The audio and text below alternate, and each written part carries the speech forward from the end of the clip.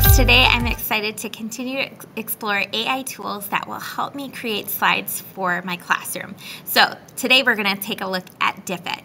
Now, I am reading The Lady or the Tiger, which is a freshman short story, and so I am putting in the title of the story, and I could also paste in a article link, I could paste the text in directly or upload a PDF as well. And what I love about several of these AI tools is that I can change the language. So if I'm working with multilingual learners, I can adapt that information. I can also choose a fictional text as well. So let's generate some resources and see what Diffit comes up with. Diffit is really nice because it creates different graphic organizers. It uses very common literacy strategies. So there's so much that you can do with this. And here you can see that it is creating uh, an image that I can use or not use. It also creates a short adaptation of the passage. So if I'm working with different levels of students who have different needs, sometimes a summary can really help them to comprehend the text. Uh, and again, especially with multilingual learners, having that short summary is really, really key. So let's continue down here. And again, I can adjust the length, I can edit it myself so I can personalize it. Here's my summary, my bullet points. It gives me some great vocabulary words. If I'd like to add more, I could add my own words. I could pull more words from the text. So it gives you so much flexibility here. I, again, I can add questions as well for multiple choice. These are great reviews and it links to the Common Core standards, which is fantastic.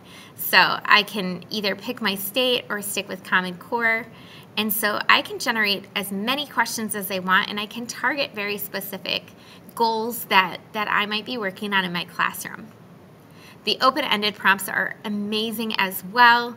Uh, again, it just helps me to generate fresh ideas. It helps me to rethink or reframe some of the questions that I might have already used.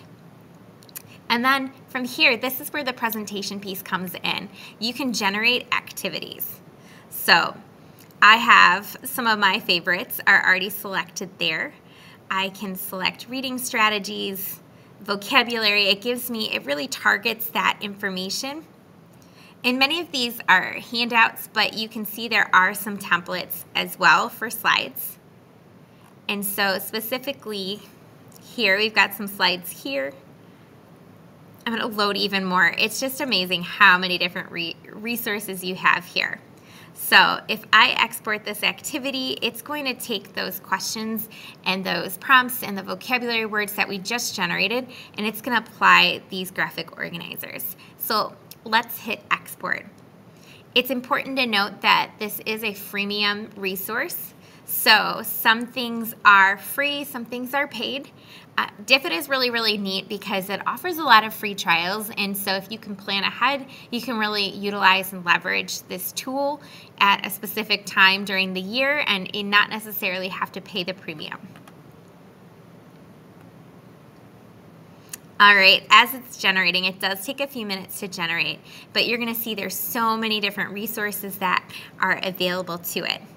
One thing I love doing with Diffit is app smashing it with Pear Deck so that I make these slides that then become interactive where students can write text, they can draw on it, they can use um, draggables. And so using the best of this AI tool with a tool like Pear Deck is really, really powerful. So let's open it in Google Slides. So these are the slides that Diffit has produced, and it's using all of those questions and those summaries and information that I just created on the Diffit main page. Now, here's how I would app smash and bring in Pear Deck. And so I'm gonna open my Pear Deck extension here. And then I can bring in and add draw slides. I can add text typing slides. There's so many different slides that I can pull through. And so I really like using the draw slide because it, it gives students the option to type or to draw or to write in different ways. So once I make this interactive, I have taken I've taken the best from Diffit and I'm utilizing this new tool to make it interactive for all of my students on their Chromebooks. Now, I can customize, so I, if I wanted to paste in the exact text, I could paste in the exact te text as well. But it's so amazing the reading strategies and the literacy focus that this tool really creates.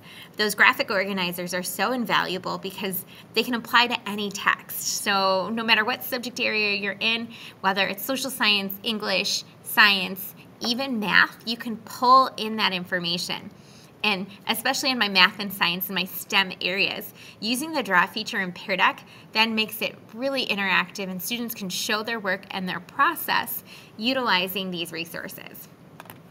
Here, as I continue to scroll through here, uh, you can see that it's got multiple choice questions. I still like using the draw feature here because then students can circle and highlight and they can cross things out. And so there's so much you can do with that. Those short answers here, you can use just the text. Uh, draggables are really great too. You can customize this. Once it's created, it's just such a great framework and an outline of a lesson. Again, there's so much that can be adapted and personalized and put in with your own flair, but using Diffit along with Pear Deck can be such a powerful resource and tool for you and your students.